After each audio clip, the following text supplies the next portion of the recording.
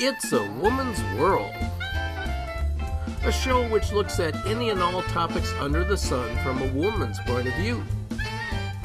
Hosted by Alli Naithani and co hosted by Uma Janga and Dr. Susan Strauss. Here's Alli. Well, we are about to have a very interesting conversation about experiences in moving to the United States from a different country. And before we get into our conversation with our guests, Uma, you've yes. certainly had this experience, haven't oh, you? Yeah, you're absolutely right, Alli. Oh, yeah. I came to US like when I was 20. Mm-hmm. I just got married. It's mm-hmm. an arranged marriage. Yes. My husband was doing MS here and he mm-hmm. got a mm-hmm. job, so it's an arranged marriage. I came here it was totally so different mm-hmm. culture wise mm-hmm. cuisine wise everything was so different totally mm-hmm. different people too mm-hmm. and more than that first of all the language the accent i couldn't follow what they were talking about and so those kind of you know so many issues were there too but yeah. i more than all but above all that i enjoyed everything though people were so nice to uh-huh. me so it but it took time for me to yeah. adjust here though. yeah an adjustment i suppose between of course when you came from india so mm-hmm. the cultural change of coming from Definitely. a country that you grew up in yes um, as you said you came when you were 20 and yes. then you moved here to yes. the us to start mm-hmm. would you say we're starting new a, a, new life new Is life right? okay okay well we have some guests with us um, who are from the netherlands and i'd like to introduce them now um, and they're going to tell us about their experience. We'd like to speak, start with Carolien Moors. Welcome. Thank you so much for having us. And I um, would like you to say your first name because Carolien has been on the show with us before, mm-hmm. and she says her name so beautifully. So wow. I cannot miss this Thank moment. You. So please. Okay. Carolien. Thank you. Carolien. Love it. Love it. Wow. Thank you. And uh, your two daughters are with us. We have Joanne and we have Lisa. So welcome to the show. Thank you. Thank you. Thank yeah. you so much. Could you please tell us uh, more about your background here so we'll know where you're from and what are your experiences here in the US? Yeah, sure. So we were actually born in the US mm-hmm. and we were born in Florida and later also moved to Minnesota. Mm-hmm. But before we were three, we already moved back to Holland. Oh. So we grew up there and lived there until we were 10, and then we moved back to the US.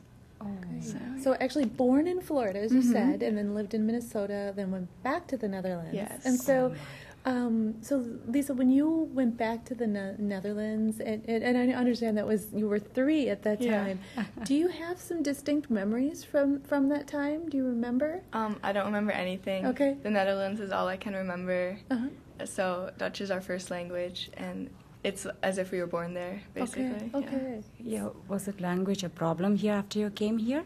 Wow. Um, well, at first we really didn't understand a word. We would sit in class, and I just didn't know what they were talking about at all. but we got used to it very quickly because mm-hmm. everyone around you just speaks English, and you just oh. pick it up really quickly. Mm-hmm. Yeah, that's true because at least English was a second language there back in India, so I was able to make it out what they were talking. But okay. for you, I think it's not even a lang- second language or something in your school, mm-hmm. I believe. So it must have been very difficult for you. Yeah, we we would have learned English the year after we moved, so we just missed it. So we hadn't had any English oh, lessons yet. Okay. mm-hmm. yeah. Okay. And Carolien, you also, of course, had to move to this country as well. T- right. Can you tell us about that? Sure. So the first move was um, a couple of years before Lisa and Joanne were born, mm-hmm. and it mm-hmm. was because of my husband's work. Okay. Um, and we had moved already. He used to work in the UK, mm-hmm. in England, okay. for his job. So, mm-hmm. um, and we really appreciate moving because it helps us. Um, grow personally mm-hmm. and learn to adapt. And uh, so when we moved here to the US the first time, we were very excited. Uh, but obviously, it was much easier for us because we had already learned how to speak English.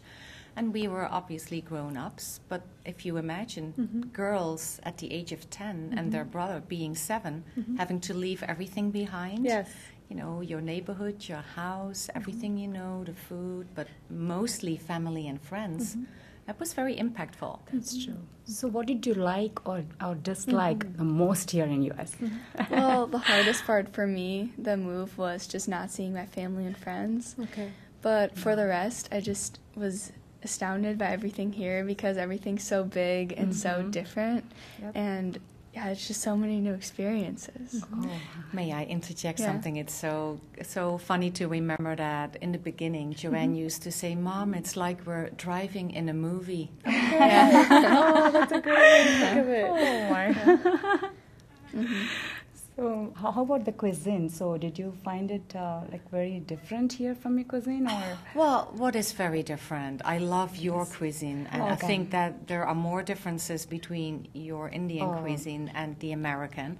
But there are definitely differences. So maybe you wanna wanna say a little about. Um, yes, maybe. Well, it's mostly just the stuff you eat every day too. Mm-hmm. Like the candy is different. Everything's different. The Yeah. drinks are different, and we don't have bagels in the Netherlands. Okay. And we just eat different things for breakfast and for lunch. And we had to find things we liked again. And So we'd go to the supermarket and just try all these things. We had no idea what was what. And was that a fun experience to go and just kind of try something? Uh, and, Most of it was fun, but sometimes we found stuff we didn't like at all, Right, and that was a little less. But most of it was Most of fun. it was a good time. Yeah, you could just do whatever. You, Yeah.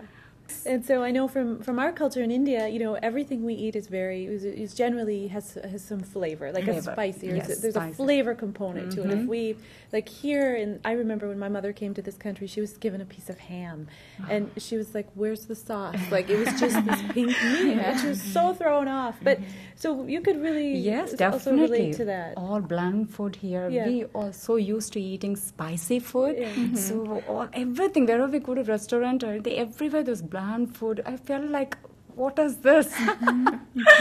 yeah. So, Yeah. that's it's a totally different experience. It, it is, and it, is there? We had talked about before the being kind of feeling like bicultural, like living uh, or having the experience of living in two worlds. Mhm. Can you talk to us a little bit about that and what Yeah. that was like for you? Definitely, a lot of times, um, my friends ask me, "Where do you like? Where would you rather live? Which one do you like Oh, better?" okay. Uh-huh. And I really can't answer that because I love it both equally.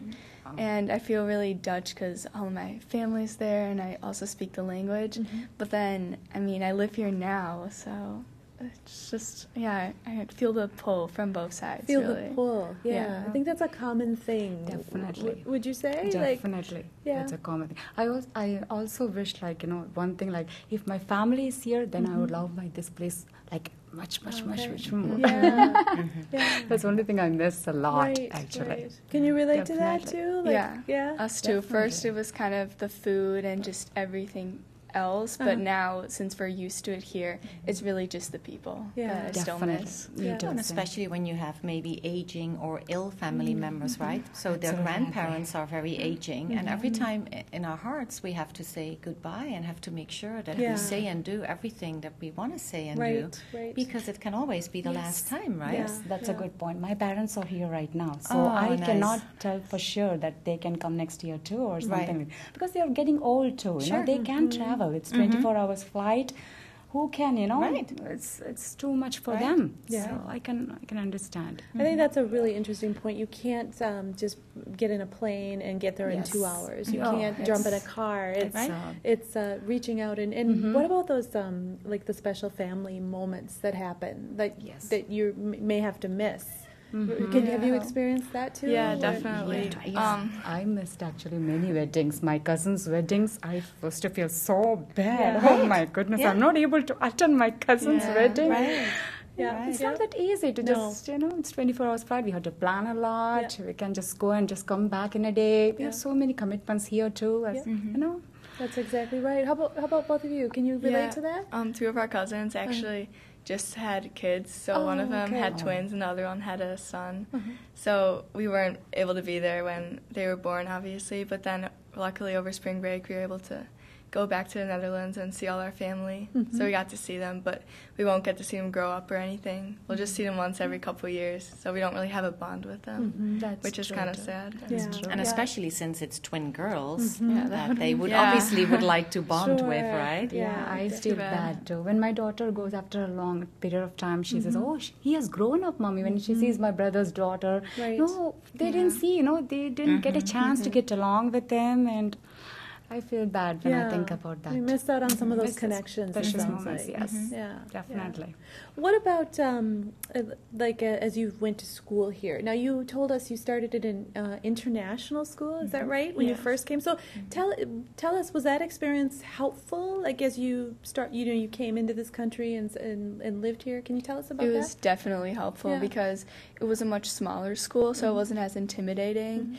And it was also there were a lot of international students there so we weren't the only one that didn't speak english or had a mm-hmm. different culture mm-hmm. which really helped. And the teachers there they knew kind of what we were going through and they helped us along with it. Mm-hmm. So that really helped. And then by the time we were used to the us we switched to a public high school minnetonka high school and then it was just a perfect fit because we had the opportunity to kind of grow up Mm-hmm. here in a protected environment at the international school Oh, so was the school cu- curriculum very different from yours there in Dutch? Yeah, or in Holland, the lower school, you don't really have any homework or tests. Oh, you my. kind of go outside and play. It's just a different education system, and there, ac- the academics are really rigorous, so we were kind of oh. thrown into it. Mm-hmm. But I think it paid off. Okay. Yeah, and also another difference is that in the Netherlands at an elementary school, you had combined classes, so fourth and fifth grade would be together, and then third and fourth grade too. And we were in some of those combined classes, mm-hmm. so you just talk to everybody kind of, and you mm-hmm. just know everyone. And here it's really different because, especially in elementary school and middle school, you really divide it up by grades and classes, mm-hmm. and it's just stricter with like recess and things like that. Because in the Netherlands, people are pretty independent because it's so small and you just bike everywhere. Okay. Just walk to your friend's house. And here, you definitely can't do that. Yeah. So it's just very different. That's what I heard too. Even they bike uh, there to work also. That's what I heard in your country, right? They bike a lot. Oh, yes. They walk a lot. Yeah. Yeah, that's uh, really good. That's that is quite a change, Change, from, yeah. from here. Yeah. Well, we were we were talking about family before, and so one of the things I was just wondering is, um, how do you communicate with family? Do you use like Skype? Do you use um, email, or do you use any of those new technology systems?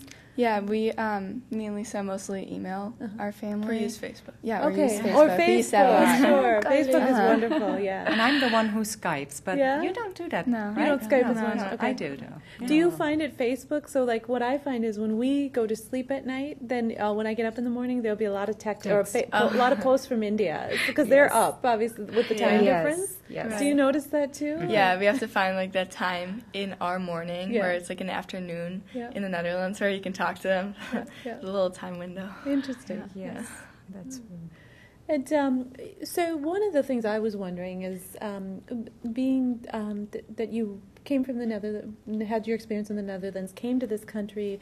As you are in your high school now, you, and you're with your friends, do you have any experiences where their parents or who have maybe grown up in this culture, they're all from this culture, they know things or they can relate to experiences where maybe in your family you didn't know about certain things. Can you relate to this at all or like you you might hear your friends say my mom went th- to prom for example or my mom had this experience versus maybe your mom didn't have that experience because she grew up in a different country. Is there anything there you can all speak Yeah. about? I'd say a little, yeah, because sometimes when the just school related mm-hmm. things like for state testing or with sports sport games and mm-hmm. dances mm-hmm. other moms will kind of know what to do and my mom she didn't grow up there so she has no right. idea so we kind of have to rely on our friends to help Yeah, us yeah. so Yeah, that's what happened with my you? daughter too. Okay. Same thing. I don't know much about proms or whatever. There's Yeah. so many new terms I'm learning from her. Yeah, I told her I'm not used to all this, you know, so I have no idea how to dress her up or, you know. Right. Yeah.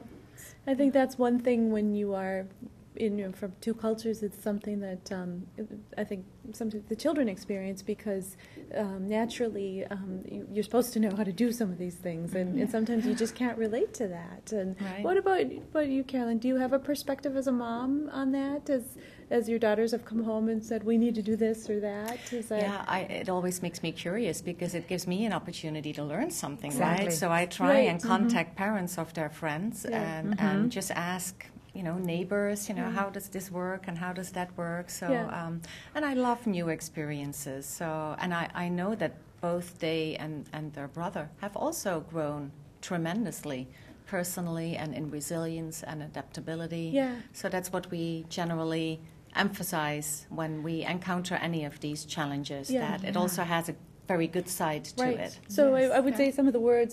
If I were to ask you just how you think this experience has been for them, or how Uh-huh. they've how they've landed after th- going through these experiences, you you brought out some interesting words: resiliency and Right. adaptability, to, Mhm. maybe to change and Mhm. um, experiences. Absolutely, they're Okay. very open to change, Uh-huh. uh, and we realize we're very fortunate, Uh-huh. right? Yeah, exactly. That we had the privilege of learning about different cultures, not just through textbooks, but by living there. I think we're very fortunate, and we're very grateful to be able to live here and enjoy the many wonderful things from uh, from the U.S.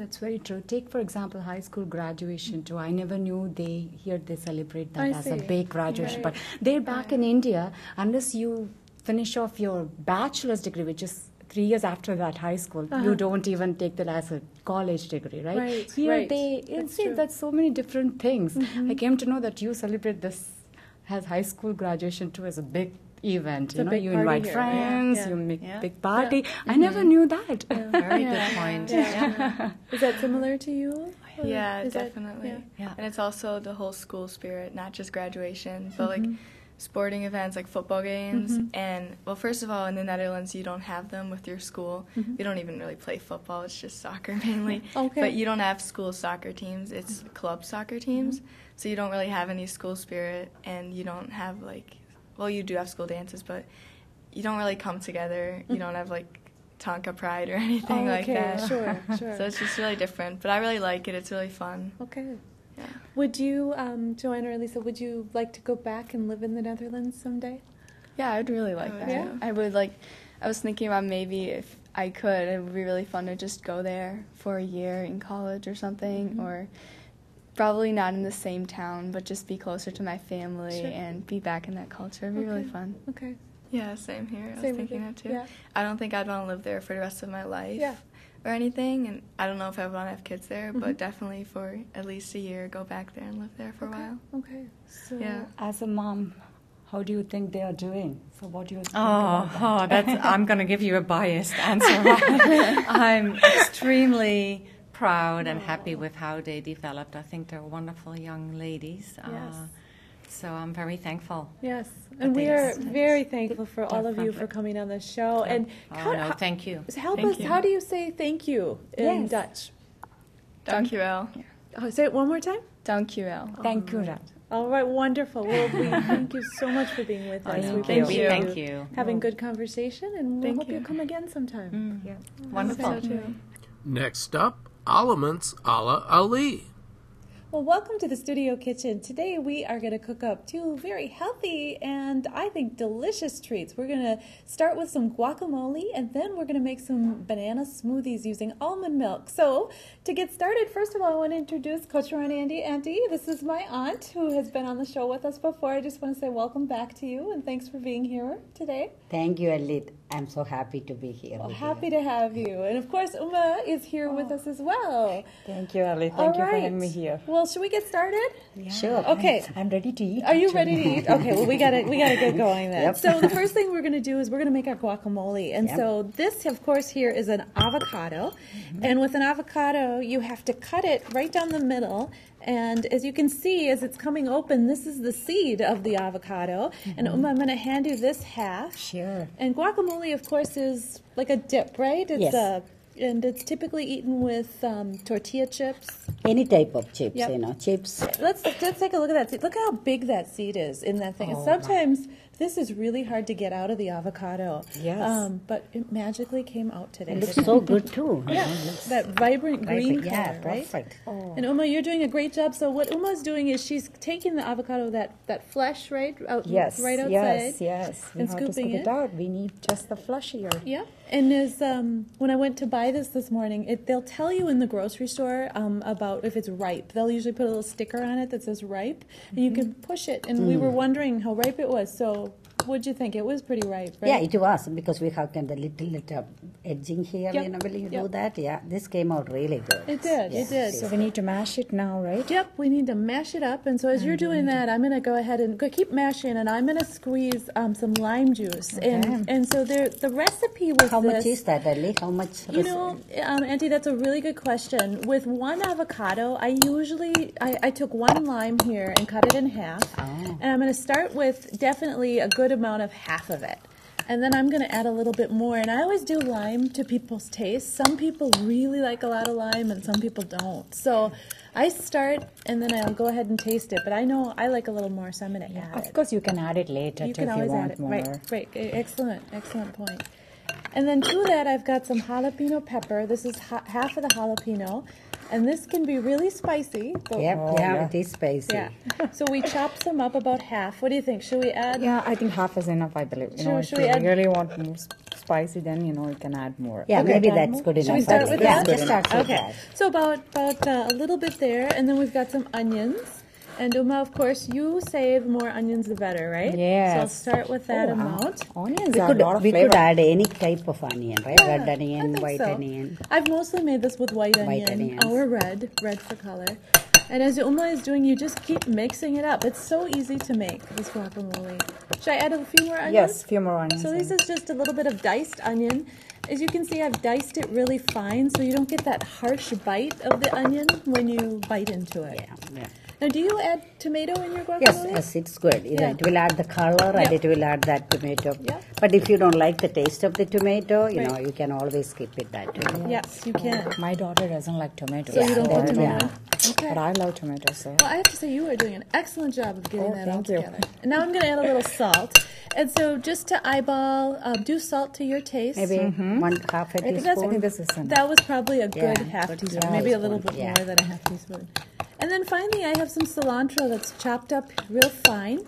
And uh, go ahead and add the cilantro. And how much is that? That about? probably was a good, uh, maybe about a good fourth of a cup. Fourth of a and cup, yeah. I, in our Indian culture, we eat a lot of cilantro, so I was Oh. very liberal with that. Yeah, and it's also with uh, your according to your you know taste you According to can change taste, it. right? Yeah. So what do you think? Very easy. It's summertime. It's a fresh flavor. You you love Yeah, guacamole, or right? you can eat it cold Yeah. or you know warm. And it's Either very way, healthy. so you know, avocado Yeah. is one of the you know healthiest. Right, right. Use it on sandwiches, and we've got tortilla chips here.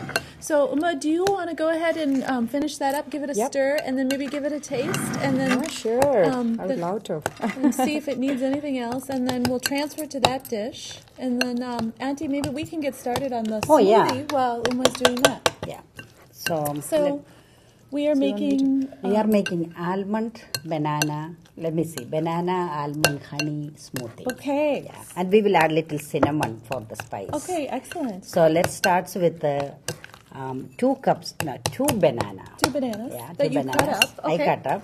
Then we will add to the blender. Okay. Then um, two, two and a half cups of milk. Milk, and we're using. We are using milk. almond milk, but we can use the regular milk also. Okay. But we are using almond milk. Okay. So make it um, two cups. Okay. So this is one cup. And that almond milk, this is an unsweetened one. I know you can buy sweetened or flavored Oh ones yes, as well. different types we can buy. Okay. So that was about a cup you About a cup, And and now I'm you're going to add one, one more more, cup. Okay. How's our guacamole? Oh, that looks beautiful. I know. I. I Great I, job, Uma. Thank you. As Okay, always. then um, then I am going to add a little bit of cinnamon Okay. to, for the spice. Great. Maybe half a teaspoon. Half a teaspoon? Yeah. Okay. So And of course, again, with smoothie, go with your flavors, right? What you exactly. Okay. exactly, and uh, the honey that gives the sweetness. Okay. So if it is a sweetened almond, you don't need to use too much. Right. You know, but this time I'm going to use two tablespoons. Okay. So maybe so you I want will to borrow this your, one? Yeah. I'll switch the salt here. Okay. So you want to hold it, Sure. I'll hold it for you. I'll hold it out it. here. And this is um, just regular honey you're using. Just a right? regular honey, yeah. Okay, so that's about So one tablespoon. tablespoon. So I'll drop that in there. Mm-hmm. And then we're gonna go for one more. One and of more. course, banana's got a lot of sweetness in it too, so that's gonna help. That like will you help. said. So this is the second one. Yeah, Okay. go ahead. There's two good tablespoons of honey. Just did you go everything? Yeah, I will. Okay. Get it all in Get there. it all in That's the sweet part, so you can't Oh. miss any of that. Oh, that Okay. looks so good. Then some crushed rice. That's okay, all. That's all it is. Yeah, that's all it is. Put Okay. that there. Simple. is It's very simple, but it's really good. Good. Put it and uh, The blender cover. Make some noise. Here we go. Yep.